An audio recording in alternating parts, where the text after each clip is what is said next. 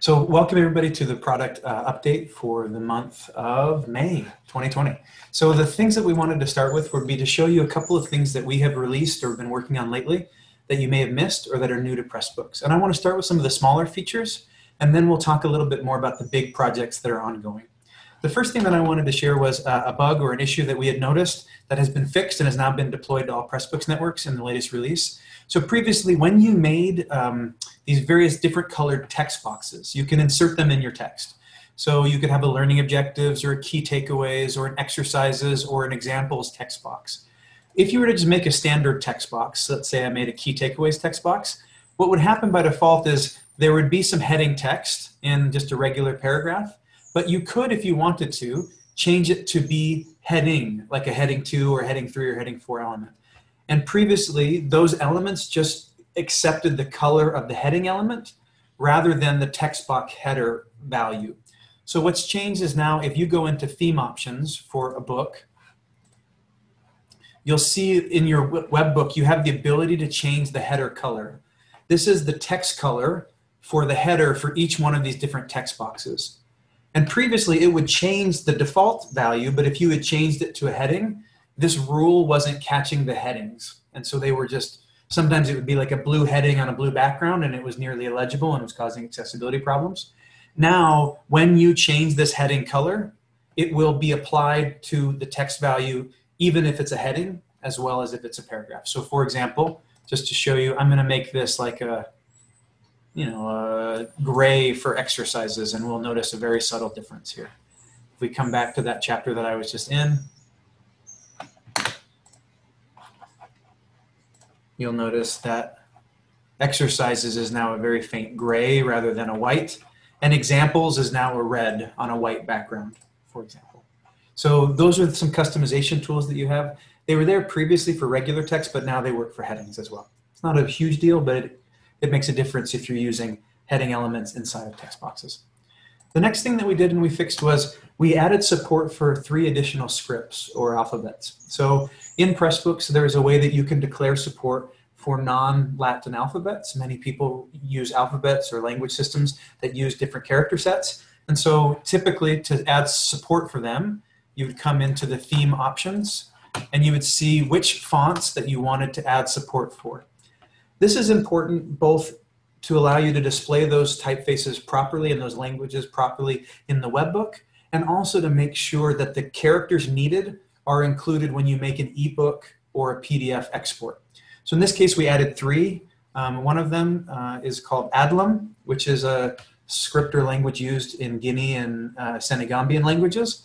Another is called N'Ko, which is also a West African language alphabet. And the third is Armenian, which is used by people in Armenia. So if I added support for those three languages and I saved the changes here, what you'll notice is if I come back to the book, you can see in this book, here's some script testing. Here's the text. This is the, I think, the UN Declaration of Human Rights being represented in Adlam, which is a right to left language, N'Ko, which is also a right to left language, and Armenian, which is a left to right language. And if you wanted to, you could then come to the export menu and we'll say, let's make a EPUB and a PDF export. Without this feature, oftentimes what will happen is the, the, the missing characters will just display as those little rectangle blocks that look like tofu. And so we wanted to make that so it doesn't happen. And you'll notice in this book now, here you're seeing Adlam being represented as the character set you'd expect, N'Ko is the same, and Armenian. So those are three additional languages. If you are working in those languages or you know people who would like to represent knowledge in any one of those languages, that's now possible in Pressbooks. We support a lot of text typefaces and languages, and if there are others that you feel should be represented and are missing, let us know and we'd be happy to add them. Um, another thing that happened is uh, in Pressbooks, we have a feature, we call it Shapeshifter, and it's available with the Malala theme. So if you apply the Malala theme to one of your books, it's available here from the theme options. Malala is a really versatile textbook theme that we designed recently. When you come into theme options, we have this shapeshift, shapeshifter value, which means that in the web book, you can set custom typefaces for both headers and body elements. You can set them separately in the PDF and yet again separately in the ebook. So you could use a whole different set of typefaces for print that you use for the ebook, that you use for the web book. And this was already possible, but there were some users that wanted to be able to use Source Sans Pro, an open font in the Google Fonts library. It was very important for them. Their ebook needed to have Source Sans Pro. So we added Source Sans Pro to the list of available typefaces. Um, and to use it, let's say in this PDF, I would say, let's set the header font to be, I don't know, Noto, or the body font to be Noto Serif, and the header font will be Source Sans Pro. And then I'll save that change, and then I'll export the book, and I'll make the PDF. And when you view the PDF, okay, so here you'll notice this book, this typeface is Source Sans Pro, and this typeface is Noto Sans. So I just customized the PDF. The next change is actually a feature that someone on this call requested. Thank you, Cheryl. So Cheryl said, hey, you know, uh, a lot of times uh, libraries or other publishing organizations uh, are on Instagram because that's where the kids at, are at these days. They're all on the gram. So we want to be able to have an Instagram link on our network landing page that points to an Instagram account that the library or the publishing program may run. So previously you could add a Facebook link that would look like this. You could have a Twitter link that looks like this. And now you can add an Instagram link. So that's available just to show you how to get there. If you're at your network root and you click on your dashboard, you come to appearance and customize. You'll see a bunch of customizer choices and one of them here now is a social media link that points to an Instagram page. So in this case, on this network, I don't use Instagram. Uh, I, but my sister does she has a flower farm in Washington, and so this points to her flower farm.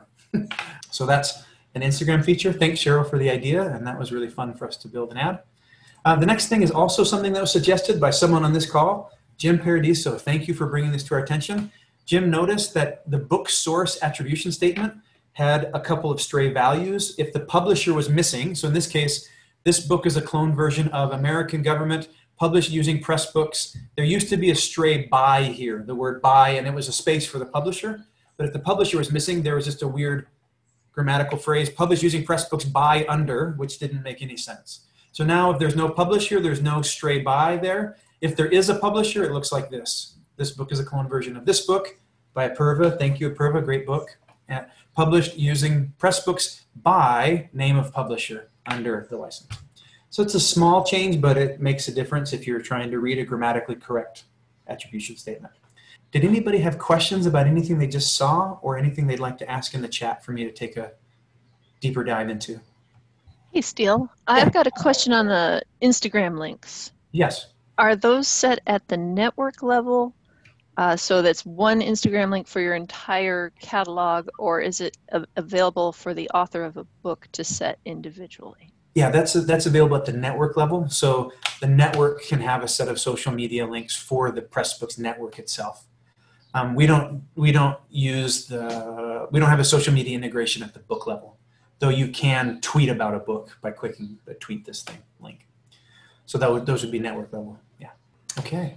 So the next thing that I want to show everyone is uh, I give an update on what we've been doing with uh, the LTI update so uh, some of you were here in a call previously. So the, the basic idea is that we're setting up Pressbooks to be able to communicate with your learning management system. So you could take Pressbooks content, you can embed it in the LMS, and you can exchange grade information using the LTI Advantage or the LTI 1.3 specification. And so I want to give a quick demo of how you might do that in a live Pressbooks book using the Canvas learning management system. We've been testing this with LMSs, and so far we've tested it with the five largest LMSs and it works similarly in all of them. But for demo purposes today, I'll be using Canvas. If you want more details about how it looks in say Blackboard or D2L or Sakai or Moodle, we can provide that on request. So here, this is a, sample chapter in a Pressbooks book. And what I'm gonna do here is I'm just gonna say paragraph one. And then I'm gonna insert an H5P activity. So I'll do a simple fill in the blanks activity and I'll say paragraph two, and I'll make another H5P activity. It'll be a true false question. And then I have paragraph three. So these are activities I've already made. And so I've inserted three activities into this chapter. I'm going to save this chapter, and I'll say, okay, there's three gradable activities in this chapter. When the LTI plugin is turned on, below that, there'll be a space for the instructor to configure this activity as a graded activity. And so I'd like to actually uh, do some grade reporting in aggregate for three different activities. So my comma key was sticky. so I've added three different activities. So these three activities have been added to this chapter as a, an aggregate activity. And it tells me it recognized, okay, activity eight, this one had a title, it was called language pluralization activity. It's a fill in the blanks activity and it's worth a total of six points. You can get up to six points for doing this activity. The next one's a multiple choice question. It's worth one point. And the next is a true false question. It's also worth one point. So in total, this would be an activity that students could get score out of eight on. And as the instructor, I can then say, okay, when do I want this to be graded? So I can set a beginning date and an end date, and only attempts within that time period will be included for the grade. If I leave it blank, there is no limit. All attempts will be considered gradable. And then I can choose a grading scheme. So here what I'm going to start with is I'm going to say first attempt. My first attempt will be the one that gets the grade in the grade book. So I can do it as many times as I want, but the one that goes to the grade book is the first attempt. So now that I've configured this activity, I'm going to save this here. So I have saved a configurable activity. What I'm going to demonstrate here in, in, in Canvas is how to create the activity um, manually in the, in the LMS. So here what I would do is I would create a new activity. I would select external tool. We've already configured Pressbooks to be an LTI tool here. And then I need to paste the actual launch number for this activity. I happen to know it, but in the future, you, if you needed to, you would just be able to paste it from the configuration value. And I'll call this demo graded activity. And I've added it to my course. Now, I can pretend that I'm a student. If I were a student, the view would be a little bit different. I'd have to publish the activity. But I'm logged in as an instructor and student, so this ought to work. The student would launch the activity in the LMS, and they would see my Pressbooks chapter that has these three activities in them. And so I'm going to practice, and I will take this activity,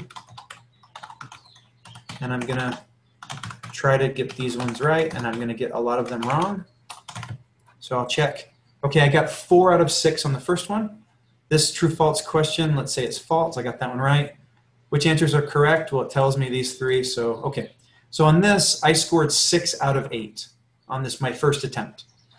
If I go to grades, you'll see, hopefully, whoops, I didn't configure my assignment properly. So I did something wrong where I didn't configure my assignment. Let's go back to live demos are always a joy. Let's go back to a different activity that I already did configure properly, um, which was my Niederker activity. This is an activity that I've set up in Pressbooks that has a bunch of learning activities, and I did the same way, except that I did it right before this activity. So here I'm going to take this activity. This one is set to be my, uh, an average of all possible scores. So you'll notice right now I have a grade value oh, hold on a second. I have a grade value for this activity of 75. Um, and in Pressbooks itself, it's set up to be the average attempt. So I'm going to really bomb this activity and we should see my score drop from a 75 to a little bit lower. Okay, I did that one wrong. Got that one wrong. Got that one wrong. I got a couple points, so it wasn't a total bomb. Got that one wrong. And I got that one right. Okay. So I did okay. And then there's a question at the bottom. I got that one wrong. So now when I come into my grades, rather than it being a 75, my grade has just dropped to 62.5. It's averaging all of the attempts that I've made according to the rules that I've set.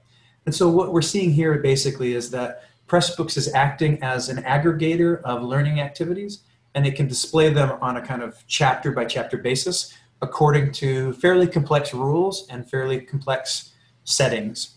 If I were to come back into the book here, um, and let's say I were editing this chapter and I removed this very first H5P activity. Okay, I've, I've removed the activity from the chapter, and you'll notice down below the grading tells me one or more activities has been removed because it can't be found in the chapter editor. It's kind of unfair to assess your students on activities that aren't actually in the chapter that you're assessing them on. So we will automatically validate and remove activities if they get taken out of the chapter. So for example, I could go back and add this, this activity back in by adding an H5P. I don't remember which one it was. I think it was 41. Once I save that chapter, I can come down and I can restore activity 41 to the graded activity. Or I could just manually remove it. I could say, you know what, this activity is just for practice. I don't actually want to record their grade on H5P activity number 41. Let's remove it from the grade value. And now when I save this, students will only be graded on the question set and the multiple choice, and they won't actually be graded on the other activity, which was just for practice. So the idea here is we want to give the instructors and learners maximum flexibility to set up the assessment in a way that makes most sense for their context. Most of the time, we think this is probably best to be used as formative assessment, but there are some cases, obviously, where you might want to do this for slightly higher stakes.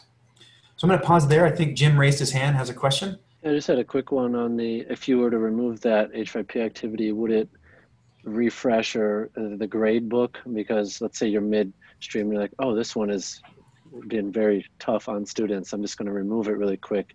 Will it refresh the the averages, so to speak, in the grade book, or would they have to actually? What would happen in that regard? Do you know? Yeah. So so what will happen is the grade has already been reported to the learning management system, and in order for that grade report to be updated, they would need to. Generally, what would happen would the learner would need to make a new attempt, and then we can send them because the LMS and the the tool have to communicate. So that if the learner made a new attempt, we would faithfully report whatever the grade value was based on that new attempt or that new value. So it's generally not a great idea to change your grading scheme after learners have already Yeah. started taking an activity. But but if, for example, you were doing average score uh, or last score or uh, best score, those are three of the options.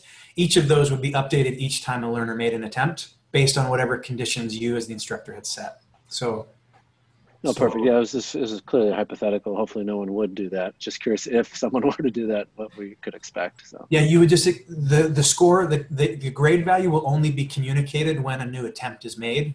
So whenever a new attempt has been made, we'll it'll check and say, does this should this override the existing score? Yes or no, and if so, then it will. Um, so Anita, yeah. So Canvas.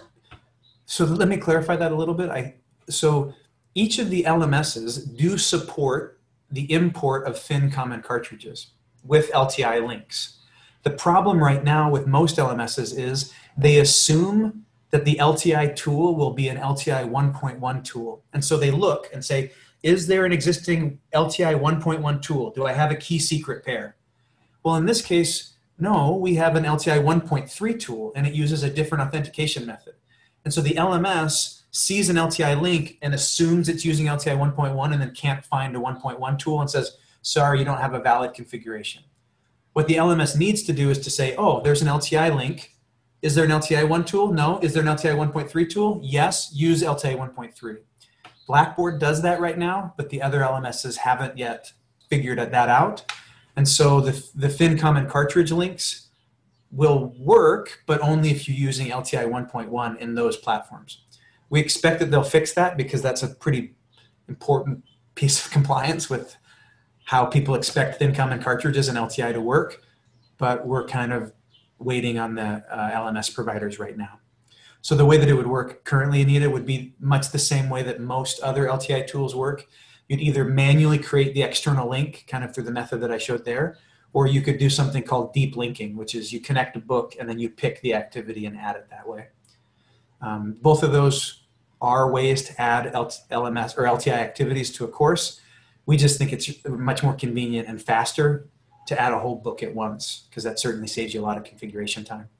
But right now the LMSs are a bit behind on the supporting the, the uh, thin common cartridge. Um, JR asked, is the connection of Pressbooks LTI to the LMS something that network admins within an institution are able to do? Or does Pressbooks have to enable for each institution's network individually? Um, I'm not sure I understand the question, but JR, let me show you kind of how the connection works. So um, I'm going to share my screen here and I'll zoom back out. So, okay, so here I'm logged in as a network manager. You'll notice there will be at the network level a tab called integrations, and you will see the ability to create as many LTI consumers as you would like. So typically, you would create one LTI consumer for each of the platforms that are connected to your network. A platform in this case would be an LMS. In most cases, there is a single Pressbooks network used by one institution, and that institution probably has one LMS, though there are cases where you have more. You would probably make a new LTI consumer for each LMS that you use. You can see that we're testing with a bunch of different LMSs on one network now. But you, what you do is you click Add New. And here, your LMS will provide a bunch of information from the platform. So we have a, a kind of a KB doc or a walkthrough doc that shows you in Canvas, where do you get this information? And you get it from Canvas and you paste it in. In Moodle, where do you get this information? In Sakai, where do you get? So you get the information that you need from your learning management system and you paste it in here. And then there's a bunch of information that you need from Pressbooks that you give to the learning management system. And that usually gets established at the, the LMS institutional level. So when that happens, Pressbooks is a trusted LTI tool. Your Pressbooks network is a trusted LTI tool for your whole installation of the learning management system. And then it's, it's a configuration that happens once, usually by a Pressbook network manager and your LMS admin, and you can handle it from there. And then there's a KID, and then you have a bunch of defaults. So default values for various settings that you can, so you can control these settings, and then these settings are also available to be overridden at a book level. The settings control things like should you be able to set the user's role when they first launch the LTI link and what do you want them to be? So for example, in this case, I want students to write a book collaboratively. So when I, they launch the LTI link, I want to make them editors in the book and I could set that setting. Or I could choose which common cartridge version to use, etc. The other thing to note about the LTI product here, this is a paid add-on for Pressbooks. So this the LTI integration wouldn't be included, but it could be included for like as a paid add-on um, to establish connections for grading and grade passback. I think there was also a question in the chat earlier about how do people uh, notify users that Google Analytics has been activated on the site. Kathy, you willing to kind of elaborate on that one and I can take a better crack at it? Yeah, I am. So um, we've activated Google Analytics across our Pressbooks site how do we how do we tell people that are on the site that they're being tracked? I think Kathy, probably what I would do is if you'd like to let users know that their page visits are being tracked through Google Analytics, mm-hmm. I would probably configure your network homepage to say something about that. So when okay. you your Pressbooks your Pressbooks visit your root website. So for example, let me just share the screen here. You have the ability to make this landing page say whatever you want. You could right. put a little, you could put some kind of notice or some kind of information either in the main body or if you want, there's a little footer area that's a nice place to put notifications and things like that. So I'd probably decide where you think it's best or most appropriate and notify people there that okay. uh, you're using Google Analytics. Ideas, that might be a really good question actually for the EDU community of practice because I don't know what other people's practices are at other schools and, and Steel, um, it's the case that you could put a full TOS terms of service for readers as a separate page that could be linked in that footer as well if, if your institution wanted to do that. That's a great point. And Kathy, there's a pretty good thread on the EDU community practice okay. where Lauren Ray and others have been talking about their terms of service policies and what they put up. I bet that would be a great question for that. Okay. Okay, I'll put it in there. We have a great privacy statement. We just haven't figured out how to make it obvious on the book level so that when the students come to it, you know, they, they see it right off the bat. So great. Thank you, friends. Yeah. Thanks, Kathy. Uh, does anyone else have questions about LTI or where we're at and what we're working on there? Yes, Steel, this is Chelsea. I have a question. Sure. Um, you did a great job at seeing how, like, within that chapter, you had three activities and you were aggregating them to send back a grade. Is it possible to send back the grades individually on each activity? So uh, the answer is yes. It's possible within the LTI specification. So LTI Advantage supports something called line item. Uh, so, so in that case, what, what would happen would be you would send an aggregate score, and then you could also send the, the LMS information about how that aggregate score was calculated. So each of the individual activities. We would like to build and develop that and add support for that. We haven't done it yet, so that's something we'll be working on maybe in the next month. But I believe that it's possible. We just haven't implemented it yet. Okay, and then with the point values and the assignment dates, when that gets configured over on the Canvas side, they're Correct. also able to add kind of override those values that come in, right? And I guess if, if you set a date on the Pressbooks side, presumably that you know kind of limit of you could only go narrower on the Canvas side, not wider. But like for point values, if it comes over from Pressbooks as a point value of eight, a professor could choose to make that assignment worth 50 points, and I assume it would just auto calculate, you know, based on the percentages. Yeah, so that's a really good question, and this is a little bit complicated, so I'll try to unpack it. What you're saying here is that if I made an assignment here in the Canvas course, so these are assignments created through Pressbooks. So for example, if I edit this assignment, I can put a due date on it, but I can't control its availability unless I do like some module release conditions. So the, the date grade setting is really set in Pressbooks, but there is the ability to set a point value. And the way that LTI grade exchange works is a little bit confusing, but basically what happens is you saw in Pressbooks that there was actually numerical points. But what we do when we sum up the value, the LMS tells us send us the maximum possible points and the actual points received. And it turns it into a ratio or a percentage.